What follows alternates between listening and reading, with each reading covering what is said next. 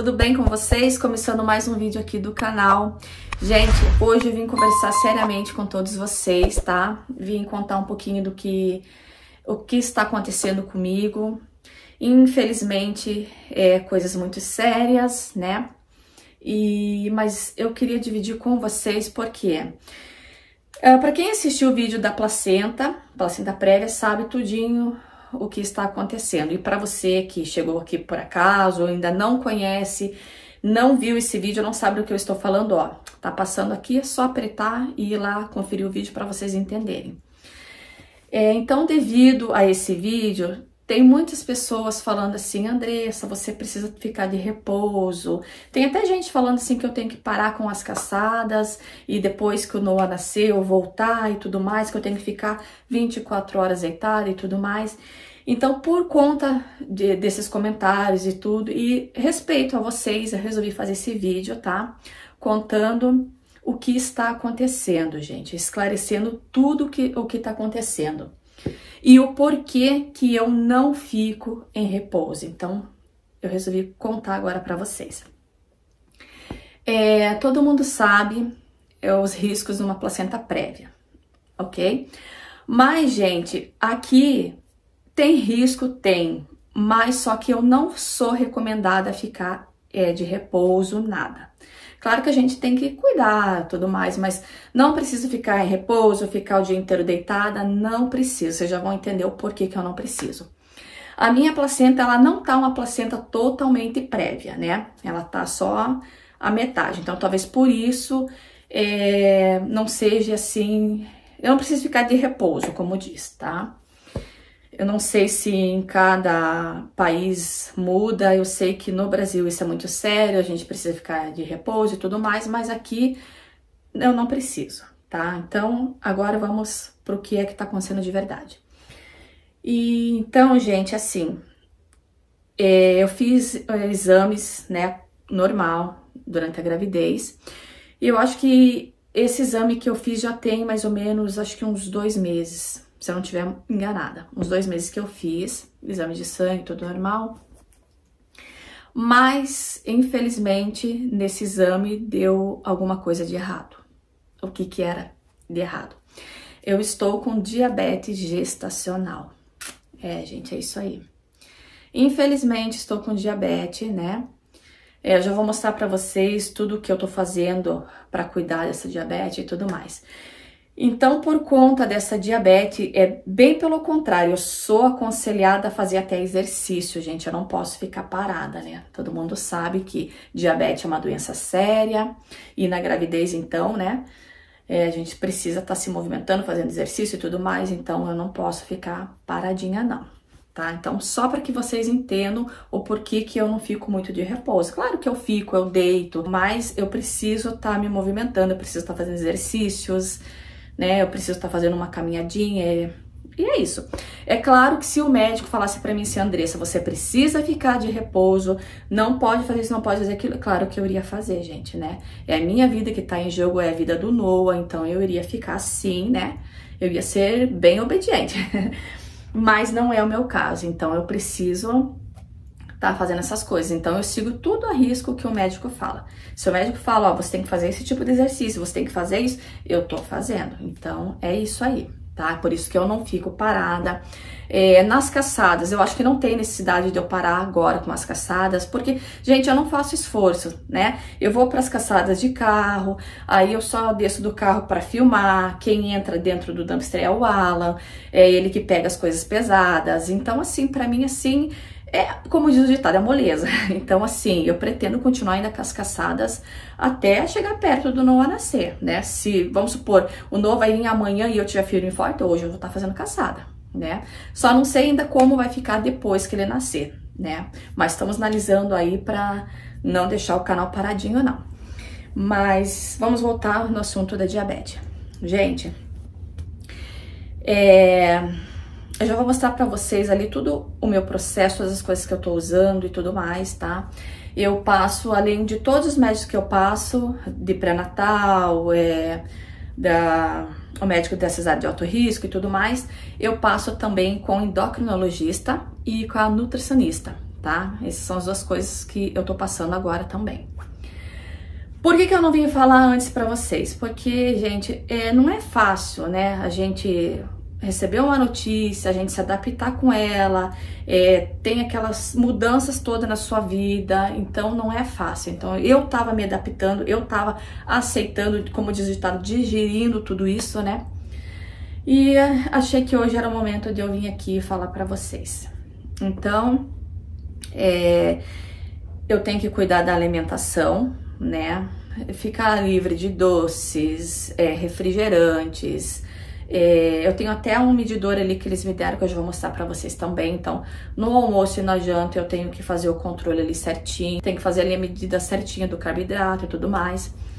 É, tem que cuidar bem a risco porque não é brincadeira diabetes, né? Todo mundo sabe que é uma doença muito séria, né? E na gravidez tem vários riscos, né? Nossa, tem milhares, gente. Tem de parto prematuro, neném vir muito grande. Nossa, uma infinidade de coisas, né?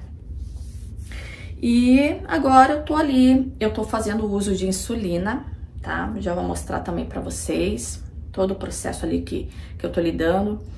E ah, mais assim, alimentação também que a gente tem que cuidar, né?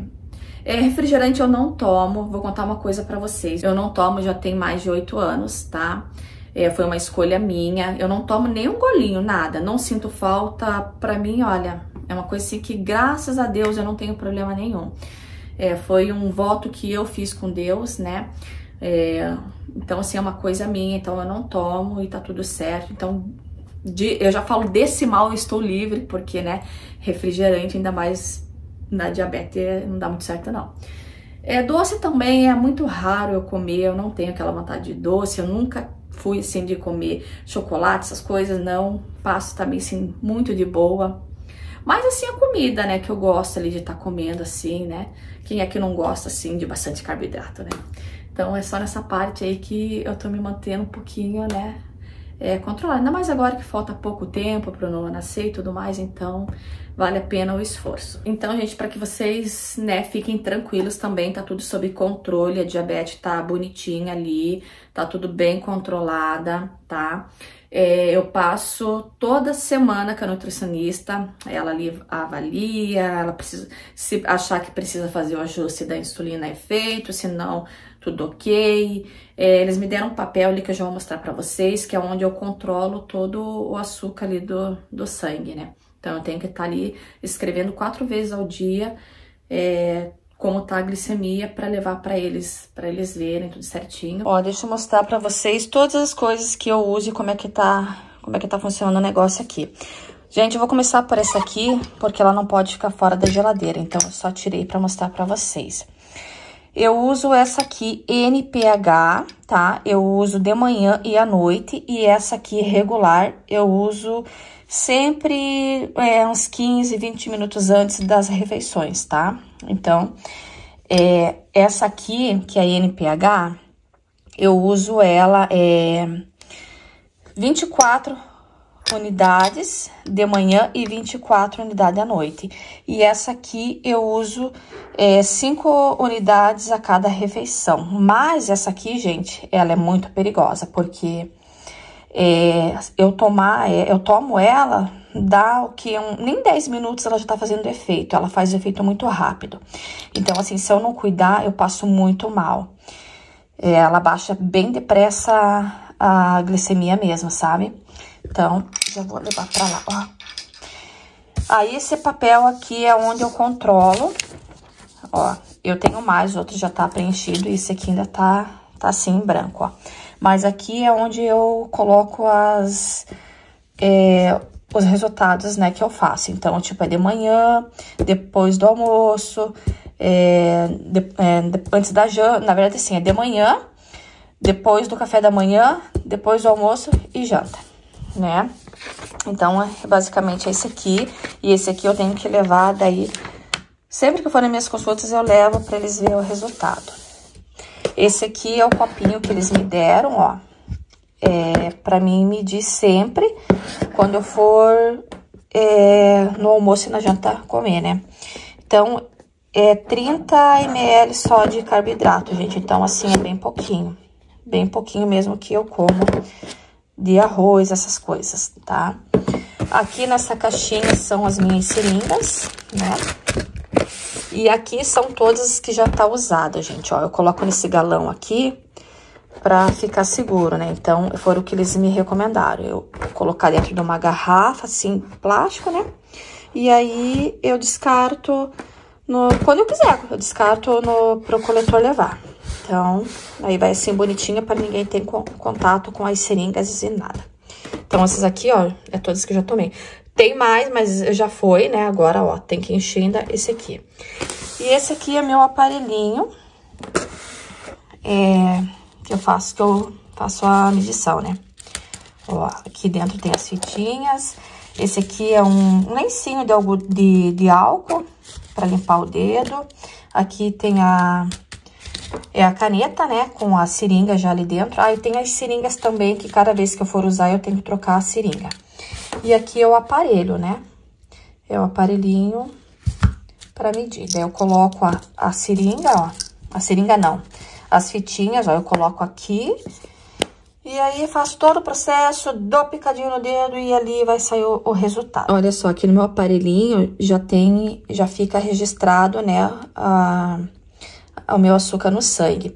E esse aqui, gente, é quando eu tomo essa insulina aqui, ó, a regular, ela faz isso.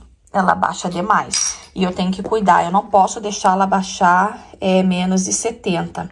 Só que nessas vezes é isso que deu, ó. Então, ó, é 67. Olha, essa aqui eu passei muito mal, 39, isso é muito perigoso, não pode deixar.